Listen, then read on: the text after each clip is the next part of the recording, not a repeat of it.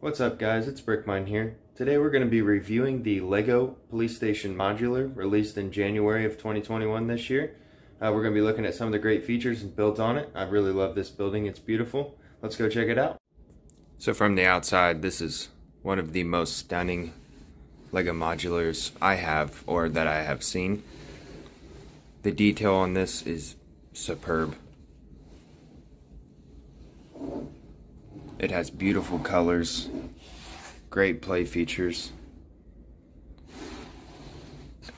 and it's hilarious that the donut shop is attached to the police station.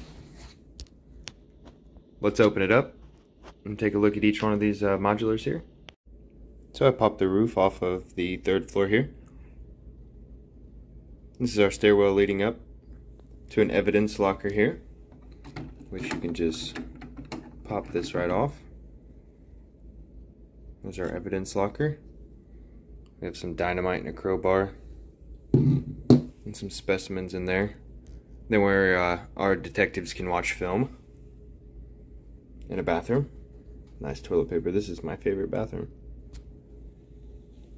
We gotta watch the billboard here, which I believe is a reference to a another modular that I do not have yet. Here on the second floor, we have the criminal's room. That's a nice miniature build there. The record player and his little sink and stove. Yeah, his bed lifts up here and he steals the donuts from the donut shop below. Donut thief. On the second floor of the police station here, you can get your mugshot taken. This build here is fantastic. This is uh, like, uh, you know, they're tracking criminals here. Have some computers and some some phones here. And then down here on the first floor, we have a newspaper stand.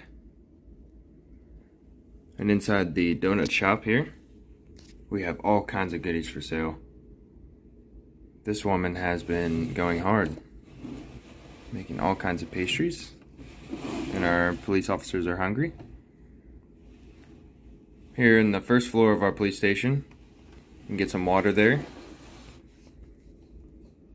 And the front desk there with the phone. And some extra walkie-talkies on the wall. And here's the jail cell. Oh, don't let our criminal out. Because we actually have a guy in there. I find this hilarious that he can lift up his bench and down below there's a spoon underneath him. And the inmate has been digging. He's on his way out. He's actually almost uh, got his way out of there.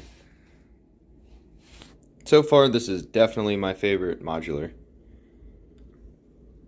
If you guys do not have it, I would highly recommend it. The detailing on this building is just fantastic. These columns are so much fun to build they look real. The gear's there for some plant features. Nice lights and detail work on the buildings themselves is just fantastic. Everything looks great. Thanks for watching guys, and if you enjoyed this review of the Police Station Modular, make sure to hit the like button and subscribe if you're not for more content coming real soon. We'll see you guys on the next one. Have a good one.